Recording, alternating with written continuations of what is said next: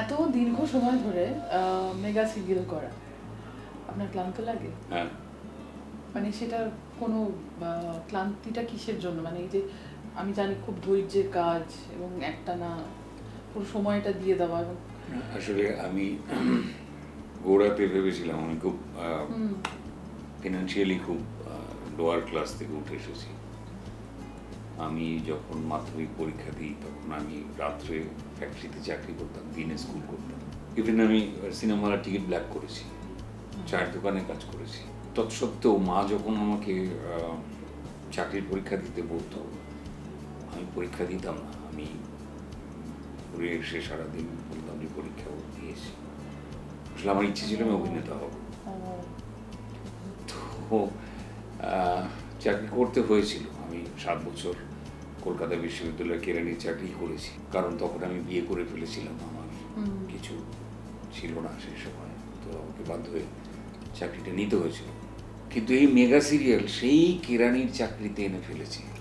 আর কেরানির চাকরির একটা সময় আছে। আমি যে চাকরি করতাম হ্যাঁ। তাতে দশটায় আমি অফিসে যেতাম। আমার বিকেল পাঁচটায় দুপুরবেলা একটা লাঞ্চ ব্রেক হতো। তারপরে বিকেল পাঁচটাতে সেখান থেকে বাড়ি আসার সুযোগ পেতাম ছুটি হতো। এখানে সেই সুযোগটাই মানে মেগা সিরিয়াল এমন একটা জায়গায় পৌঁছে গেল। কোনো সময়ের ঠিক নেই কিচ্ছু নেই রাত্রি নেই দিন নেই শুটিং হচ্ছে। এরকম হ্যাঁ, একটা পর্যায়ে সময়। হ্যাঁ এরকম একটা পর্যায়ে অন্য কোনো কাজ করতে করা পারবেন না। আপনি এরকম একটা পর্যায়ে পৌঁছে যাচ্ছিল। যাই হোক এখন অনেকটা বাধা গেছে।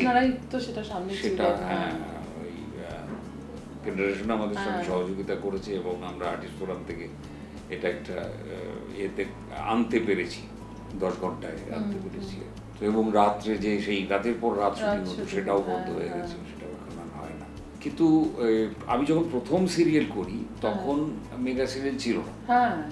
সেই সময় একটা এপিসোড তিন দিন ধরে শুটিং হয়েছে আমার প্রথম কাজ আহ, দূরদর্শনের নাটক আচ্ছা টেলি আচ্ছা। টেলিপ্লে যেগুলো বলতো হ্যাঁ, হ্যাঁ। তখন আমরা নায়ক বলতে যা বলতাম সেটারই প্রবল সম্ভাবনা ছিল আপনার মধ্যে।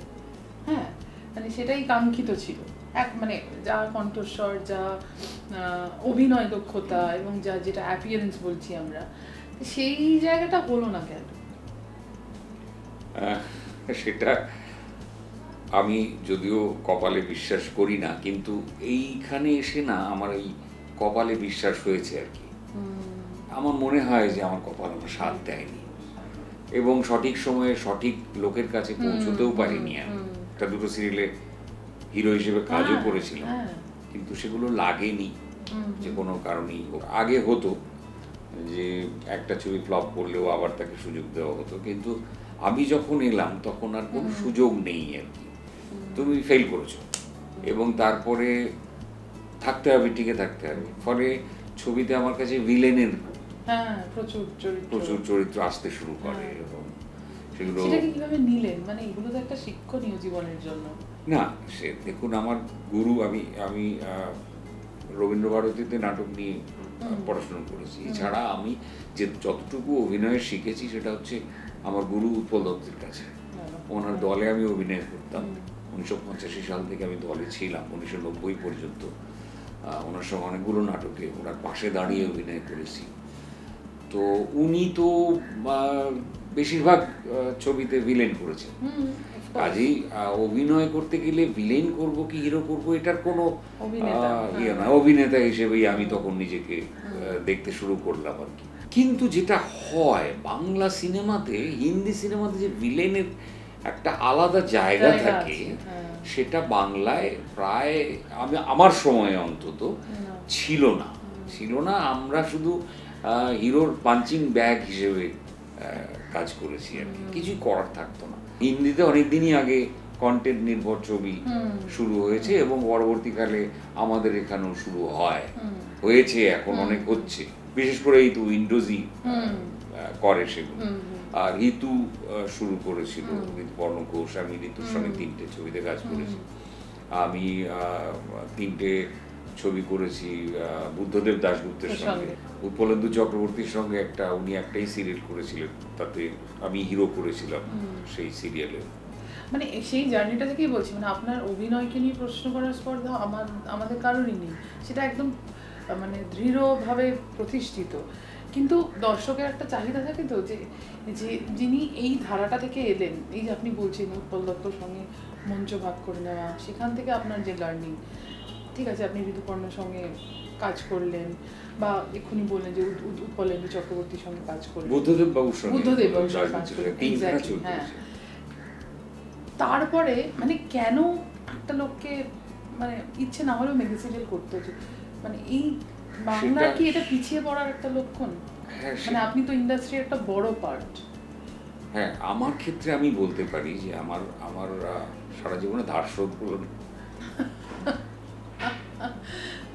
আমার বিচ্ছিরিভাবে আমি নষ্ট করেছি টাকা এবং হ্যাঁ। গাড়ির পেছনে আমি এত টাকা নষ্ট করেছি যে ভাবা যায় না। আমি ছ মাস একটা গাড়ি কিনেছি একজন বলল এটা কি গাড়ি কিনেছো তুমি? আমি পাট করে গাড়িটা বিক্রি করে দিলাম। তাহলে আপনি কেউ চট করে প্রভাবিত হয়ে যান। হ্যাঁ আমি ভীষণ অন্যের কথায় একটা হওয়ার একটা দোষ আছে আমার। কিন্তু সেটা আমি যদি স্ত্রীর কথায় প্রভাবিত হতাম সেটা তাহলে আমার বেটার হতো। আজ আমার জীবনে আজকে নেই সে। হ্যাঁ। দুর্ঘটনা ঘটে গেছে সে চলে গেছে। ওর কথা শুনলে বোধ আমি ঠিকঠাক চলতে পারতাম। এখন মেয়ে গাইড করে। কিন্তু ঠিক আছে মানে এতটাও আমার মনে হয় না ওভাবে দেখা উচিত। কারণ আপনি এত শক্তিশালী একজন অভিনেতা এবং ইন্ডাস্ট্রির ক্ষেত্রে আমি ওটাই বলব যে অবভিয়াসলি সেরকমভাবে ব্যবহার করা হয়নি বা আমাদের ইন্ডাস্ট্রিরও অনেক সীমাবদ্ধতা আছে সেটা জানি আমরা প্রত্যেকেই। তৎসত্ত্বেও বলছি। আর একটা জিনিস আমার পিয়ার হ্যাঁ খুব খারাপ। আসলে আপনারা যে সময় গ্রুমড হয়ে এসেছেন অভিনেতা হয়ে সেখানে না পিআর আপনি ইনস্টাগ্রাম করেন না তাই তো? না। হ্যাঁ আপনি ফেসবুকে খুব যে একদম দারুণ কিছু আছেন তা না, নিজে থেকে অনেক কথা বলছেন সারা জায়গায় তাও নয়। সময়টা এটা হয়ে গেল। এই সময়টাকে আপনি কীভাবে ফেস করতে চাইছেন? এখন মানে কি কি ভাবছেন? দেখুন আমাকে ওই বেঁচে থাকতে গেলে একটা সিরিয়াল অন্তত করতেই হবে আমি চাইছি একটু একটু ছবি এবং সিরিজ হ্যাঁ কারণ আপনাদের মতো অভিনেতার জন্য কিন্তু ওয়েব সিরিজের জায়গাটা খুব স্ট্রং হ্যাঁ আর আর একটা হচ্ছে আমি থিয়েটার আবার অনেক দিন হ্যাঁ। পরে মঞ্চে উৎপল দত্তের নাটক আজকে শাহজাহান যেটা আচ্ছা, আচ্ছা, হ্যাঁ। সুমন মুখোপাধ্যায় হ্যাঁ, লাল। ডিরেকশন দিয়েছে নাটকটি আহ, বিদগ্ধ জনেরও যেরকম ভালো লেগেছে তেমনি মানুষও খুব পছন্দ করেছে নাটকটি। হ্যাঁ। উনি যে রোলটি করতেন যে পার্টি করতেন আমি সেইটাই করছি পঞ্চবিহারী চক্রবর্তীর চরিত্রে আমি অভিনয় করছি। হ্যাঁ এইগুলো অনেকটা অনেকটা অনেকটা। অনেকটা। তো আমি চাইছি যে থিয়েটারটা পাশাপাশি আবার যদি চালানো যায় দাবারুতে আপনার জায়গাটা ওর বাবা যে ছেলেটি হুম হুম। যাকে নিয়ে গল্প তার বাবা হাত দেখত। ও আচ্ছা। কিন্তু সে মিথ্যে কথা বলতে পারত না। আচ্ছা তো সেই জন্য তার চাকরি চলে যায়। কিন্তু দাবা খেলার সে বিরোধী ছিল। আচ্ছা। সে বলতো যে দাবা তাস পাশা তিন সর্বনাশা। প্রথম দিকে সে মেনে নেয় না আর কি দাদুই ওকে গাইড করে মা। উইন্ডোজের সঙ্গে কাজ করার মানে সে আপনার তো প্রচুর কাজ হয়ে গেল অলরেডি তো কি কীরকম অভিজ্ঞতা? হ্যাঁ খুব ভালো মানে আমি বহুদিন ধরে আলাপ আমার সঙ্গে নীতিশ রায়। আচ্ছা।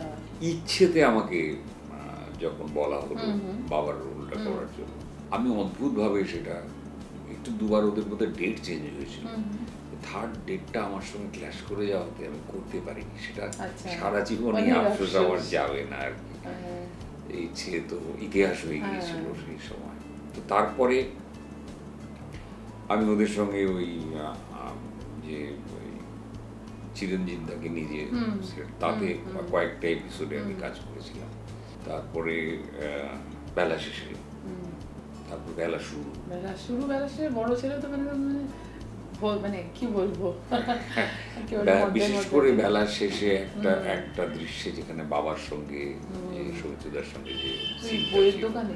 বইয়ের দোকানে হ্যাঁ, যে সিনটা ছিল হ্যাঁ। সেটা করে আমি খুব ইয়ে পেয়েছিলাম। আর ওই রকম একজন মানুষের পাশে দাঁড়িয়ে আসলে, অভিনয় করা। সৌমিত্রদার মতো। যাই হোক সৌমিত্রদার সঙ্গে প্রচুর কাজ করেছি। আমি এই ইন্ডাস্ট্রিতে আমি নিজেকে সৌভাগ্যবান মনে করি যে বহু ভালো এবং মানে দুর্দান্ত সমস্ত অভিনেতার সঙ্গে আচ্ছা, অভিনেত্রীদের হ্যাঁ, সঙ্গে আমি কাজ করেছি। এখানে আপনি ঋতুর সঙ্গে বোধহয় পেয়ার না? বোধ হয় বোধ হয়। হ্যাঁ, হ্যাঁ। মাটা বোধ হয় হ্যাঁ হ্যাঁ। আমি ওর সঙ্গে কাজ করেছি কিন্তু ও ও হিরোইন আমি ভিলেন হ্যাঁ। ছবিটা কিরম মনে হচ্ছে? মানে এই ছবিটা? এই মানে ছবিটা সত্যি এইরকম স্পোর্টস নিয়ে ছবি ভাবলেই মানুষ ক্রিকেট বা ফুটবল ভাবে। আমাদের দেশে বিশেষ করে ক্রিকেট হুম।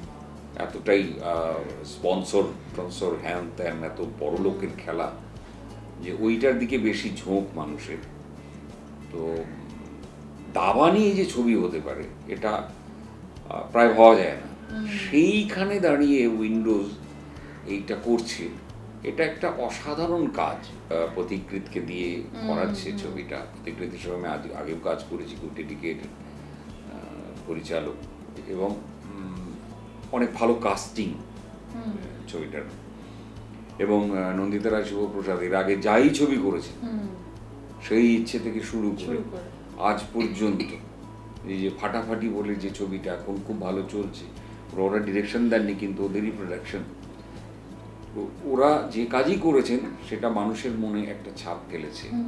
একটা সাফল্য যেরকম পেয়েছে পাশাপাশি একটা দাগ কেটে গেছে মানুষের মনে।